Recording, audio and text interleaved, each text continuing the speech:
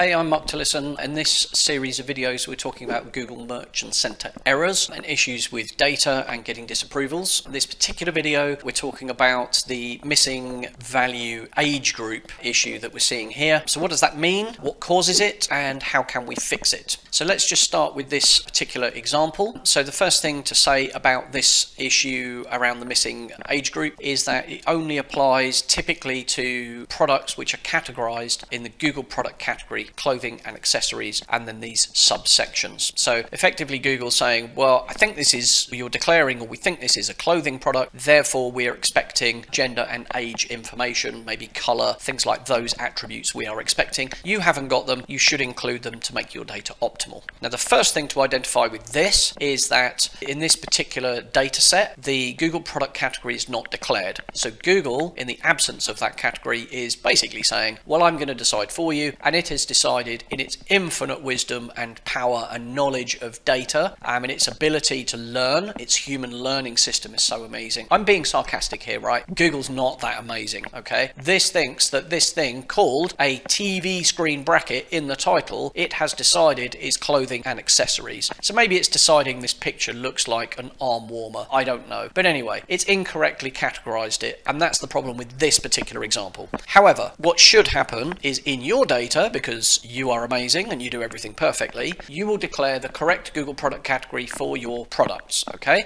so if you are selling TV brackets like this site, then you won't have them categorized as clothing accessories and therefore you won't get this issue. However, if you are selling clothes and you are seeing this missing value age group issue and it's telling you to add this attribute, then basically the reason it's telling you to do that is because that attribute is missing, it's not provided in the data. So if you're selling clothing, this video video is for you. If you're not selling clothing and you're getting this issue, then it's most likely to be solution is change your Google product categories, go and set those in your data, and you'll be fine. If you need some help with that, if you're stuck, then comment or contact us via tillison.co.uk and we'll try and help you out with that. Anyway, if you are a clothing store, a fashion store, we work with lots of fashion stores, loads of success, and I've seen every issue under the sun with um, Google Merchant Center and fashion products. So let's assume this Google product category is correct and you're seeing this issue of missing data, missing value age group. Okay, so how do we fix that? So let's just take a quick look at what Google tells us. Okay, so if we look at the age group, okay, and what this is expecting, okay, so this is supported values. So you have to declare a value called age group in that format. Basically looks like that. So that's what should be in your feed provided by the API, uploaded via supplemental feed, however you're doing it. That is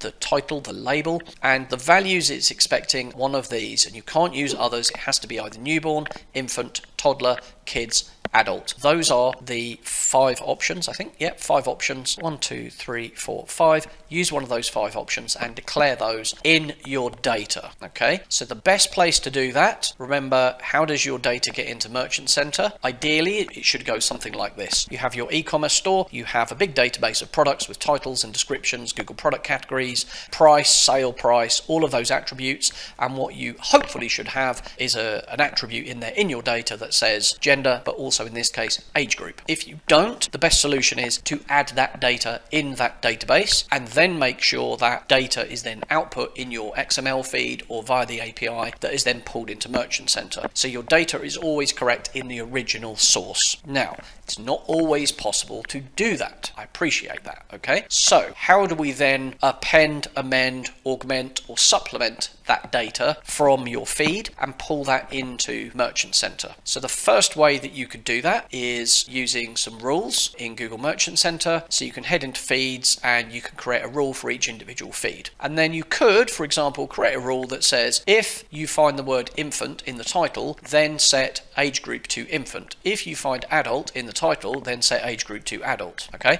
you might have a different way of maybe you've added custom labels, or maybe your product types, for example, you've got product types of adult and infant and things like that. You could then say if my product type is adult, set this attribute to adult. If my product type is infant, then set this attribute to infant. So you could use some rules. And what that's going to do is every time your feed is refreshed, say at 2 or 3 o'clock every morning, those rules will run, find that data, and set these attributes for you. So that's the first way you could do it. There's a reason I don't recommend this, and I'll come on to this a bit in a moment once I've explained the other options you've got. So we could do that with rules in Merchant Center to basically set that based on the existing data in your feed, and we can say if that is there, then do this with it. Okay? You have to look at your individual data to work out how to apply those rules, and you do have to have somewhere in your data that identifies it as adult or toddler or infant, etc. Okay? The next way you could do it is with a supplemental feed. There is a video on both these methods, by the way, on our channel. So how to create a supplemental feed using Google Sheets, which is my preferred method, and how to use rules in Merchant Center are both available. I suggest you go and have a look at those. Again, not recommended to do it this way. Best method is to fix it in your original source data. Okay, so you could add a supplemental feed. Effectively, you list the product IDs. You have a column called age group, and then you basically manually go through and go infant, infant, adult, adult, whatever. Okay,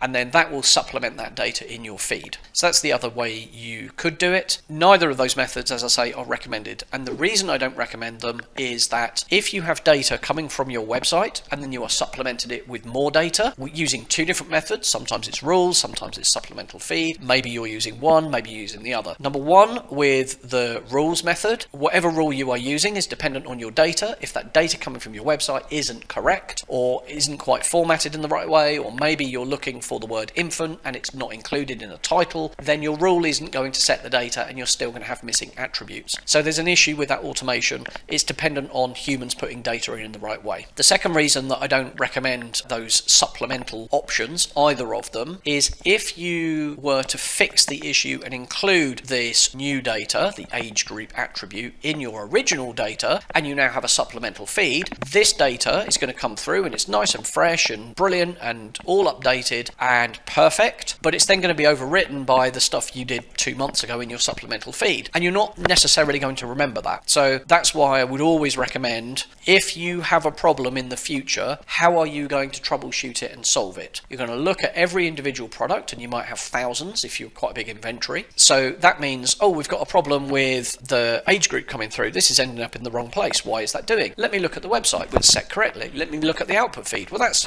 Well, what's going on? Why is it broken? Ah, hang on a minute. Isn't there? Oh, there's a merchant center rule. Maybe it's that. Let me pick through all my rules to try and find out which rule is creating this data. No, no. Maybe it's a supplemental feed. Maybe it's one of three or four supplemental feeds, and you're going to get into a mess. The other reason that I don't recommend the supplemental feed option specifically is if you are updating your inventory regularly, that means we've now got database full of products on your website that you're updating today, and you've got a thousand products. So you go and create a Google Sheet with those thousand products in, and you add the attributes, and you set them all to infant and toddler and whatever. Okay, that's great. But then next week you get another hundred products, so they get added to your database, and out they come in the feed, and now you've got more missing value age group problems. So now you've got to manually go and update your feed and add another 100 individual IDs and add manually is this infant, is it adult, is it everything else. And then in a month's time, you add another 500 products and you've got to append another 500 products to your supplemental feed. That's a headache. You don't really want to be doing that. And then you're going to get other issues where the products go out of stock that are in your, so products that are no longer in your feed are now in your supplemental feed. So then it's going to throw errors going, these 468 products you're adding attributes to,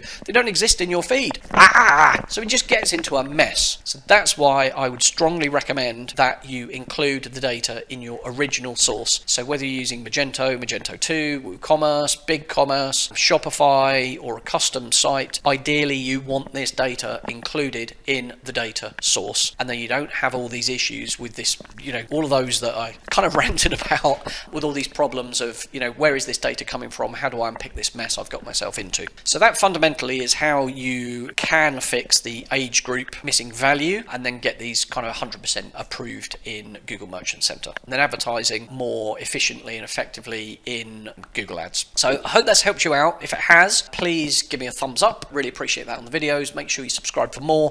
And if you are stuck, you've got a different problem, please, please, please, we love to hear from you. Please ask in the comments.